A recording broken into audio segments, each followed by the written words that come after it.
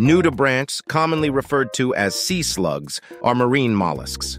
How then a soft, shellless slug can survive the harsh predators of marine environments?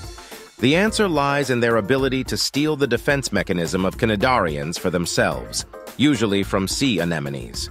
If you have watched our jellyfish video, you know all about stinging cells.